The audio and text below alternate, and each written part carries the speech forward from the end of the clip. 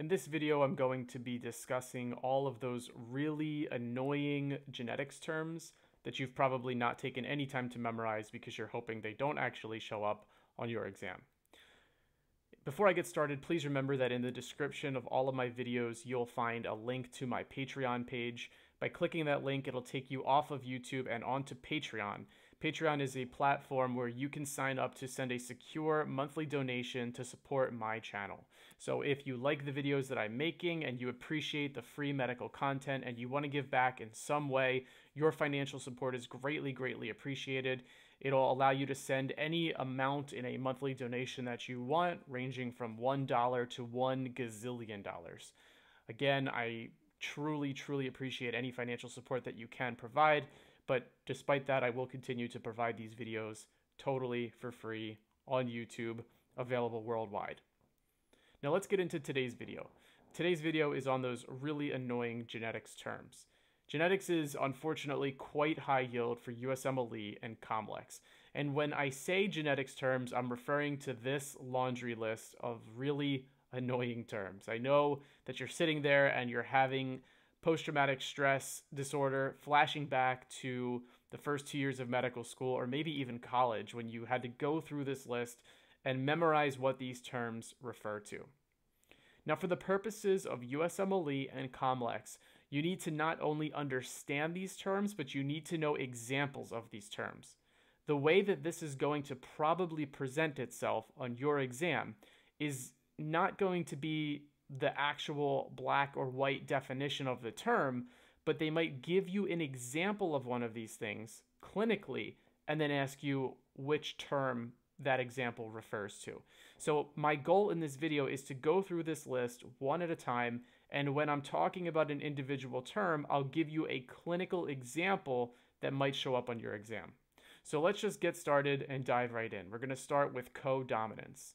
So codominance refers to when both allele copies are expressed. So in codominance, neither of the alleles are recessive and neither of them will mask the other one.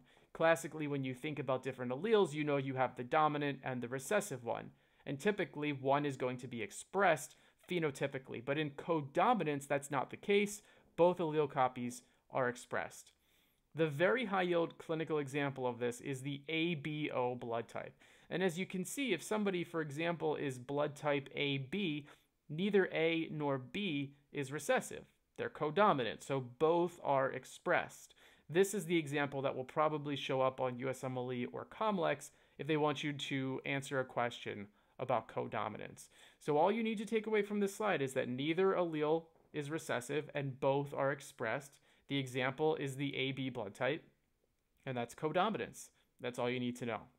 Let's talk about variable expression. Variable expression, which is AKA also known as expressivity, refers to a situation where people have the same disease genotype but different symptoms. So think about the name here variable expression. The expression or the symptoms of the disease are variable. So let's talk about some high yield clinical examples. The two most obvious clinical examples that could show up are Marfan syndrome and neurofibromatosis type 1.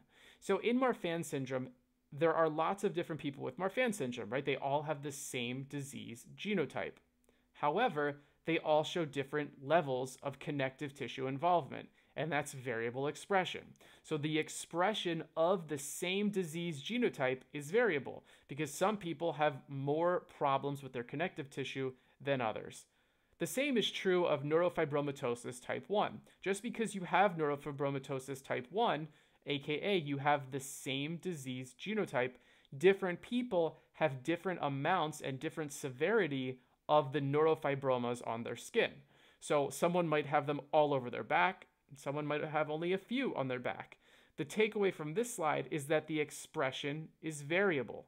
The expression of the symptoms is variable even though multiple different people can have the same disease genotype. So that's variable expression, also known as expressivity. So now we're done too. Let's keep this rolling. The next term we're going to talk about is incomplete penetrance. So, incomplete penetrance refers to a situation where somebody does have the diseased allele, but they do not express the trait that that allele can lead to. And the most high yield clinical example of this is the BRCA1 mutation. So, just because you have the BRCA1 mutation does not necessarily mean you're going to 100% develop breast cancer. Is there a high likelihood or a high chance of that happening? Absolutely. But it's not guaranteed. So, incomplete penetrance is the situation where you do have the disease allele. In this case, you have BRCA1, but not necessarily the expressed trait, i.e., not necessarily the expressed breast cancer disease. Okay? So, incomplete penetrance, the penetrance of the diseased allele is incomplete. It hasn't completely gone through and conferred itself as the disease. So that's the high yield example of incomplete penetrance. The only other thing that I want you to take away from this slide is that rarely the test writers will ask you to calculate what's known as penetrance. It's very annoying, but it's actually quite simple. Penetrance refers to uh, basically a ratio. It's the number of people with symptoms divided by the number of people with the diseased genotype. And this will estimate for you the penetrance of a certain disease. So in this case, if we're going to simplify this heavily, but if one person had symptoms, but 10 people had the disease genotype, so only one person had breast cancer, but 10 people had BRCA1, then the penetrance would be 1 over 10, or 0.1. So you can calculate those things on your exam, and I understand that's annoying, but if you think about this calculation, it, it, it is somewhat intuitive. So takeaway summary from this slide is that incomplete penetrance is the situation where somebody does have the disease allele, but does not express the trait that that allele can code for. That's incomplete penetrance. Now let's talk about pleiotropy. So pleiotropy refers to one gene affecting multiple phenotypic traits. And a really beautiful example of this is PKU, phenylketonuria. So PKU is the one gene, right, the one diseased allele. And of course, PKU comes as a disease from a diseased allele. And it gives rise to multiple phenotypic traits, right? There's not only one symptom of PKU you see things like hypopigmentation, intellectual disability, etc., etc. So when you have a disease that has that has more than one phenotypic derivative of that disease, that is pleiotropy. So very easy to understand. Any disease with multiple symptoms basically is pleiotropic. All right, the next term that we need to talk about is genetic anticipation, sometimes referred to simply as anticipation. Anticipation refers to the process by which there is an increased severity and decreased age of onset of the disease in subsequent generations. So the way that this will will show up on your exam is they'll describe a disease in one generation and then they'll say that you know the patient's son or the patient's grandson has the same symptoms that are more severe and they're occurring earlier in life, also known as decreased age of onset. The classic, classic, classic clinical example of this is Huntington's disease with that CAG trinucleotide repeat expansion, because in subsequent generations, that trinucleotide can expand faster, which means you're going to get that disease at a younger age and you're going to get that disease with way more severe symptoms. Now, this is true of all trinucleotide repeat diseases, but for some reason, the classic example that shows up on USMLE and Comlex is Huntington's disease, which, if you recall, the trinucleotide repeat in Huntington's disease is CAG. See my video on trinucleotide repeats if you need some ways to remember that, but just to briefly refresh your memory, CAG stands for can't aim great. Hunters, for Huntington's, can't aim great if they have Huntington's disease. So that's genetic anticipation. Summary takeaway from this slide is an increased severity and decreased age of onset. Usually on your test, you'll get it because they'll tell you that the subsequent generation gets it at age 25 when the patient's father or grandfather got it at age 45. So that's anticipation. We've only got two terms left. You guys are doing a really great job. Let's talk next about locus heterogeneity. So locus heterogeneity is, is actually pretty simple. It's the process by which different loci or different mutations all cause the same phenotype. So let me give you a really simple example. So let's imagine for a second that we've got three different people with three different diseases. One person has homocystinuria, one person has multiple endocrine neoplasia type 2B, and one person has Marfan syndrome. Now, as you know, because you've been studying for USMLE and Comlex, these are three very distinct diseases with different genetic uh, components to them. They occur on different chromosomes. They're completely different diseases. That's what I'm trying to say here. But despite that, all three of these very distinct, different diseases all cause the same phenotype, which is to say that they all give rise to the symptom of a marfanoid body habitus. That is locus heterogeneity, when three completely different gene loci, mutations, diseases cause one common phenotype. That's it. That's all I want you to know. Now look at the name of this disease, right? Or this term, excuse me. Locus heterogeneity. So you have heterogeneity on different locus or different loci. So it's somewhat easy to remember. Let's wrap up by talking about heteroplasmy. Heteroplasmy is the most confusing term of this entire list, but I think if I go through this, you'll, you'll be just fine.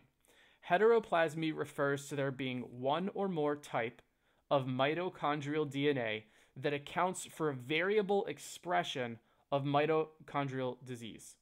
Okay, so this sounds like a lot. Let me break this down for you. So, heteroplasmy itself is one or more type of mitochondrial DNA.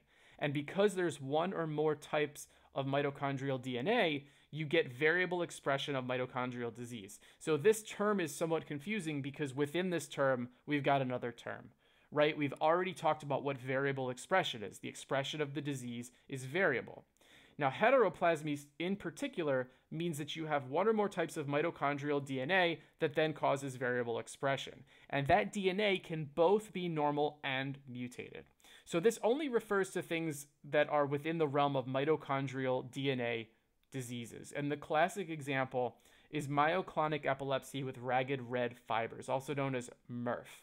So in patients with MERRF, some of them are pretty normal, right? You don't immediately know from an early age that these patients have MERRF. But in others, the, the symptoms are so severe that they do have MERRF and that gets diagnosed pretty early. The reason that there's a difference between those people that don't have it that badly and the people that have the really severe symptoms is variable expression, which we've already talked about on a previous slide. So there's variable expression of mitochondrial disease, but where that comes from is the heteroplasmy of the mitochondrial DNA. So because some of the mitochondrial DNA is normal and some of the mitochondrial DNA is abnormal, which is to say that that mitochondrial DNA exhibits heteroplasmy, you therefore get variable expression of mitochondrial disease. And this happens in patients with MERRF.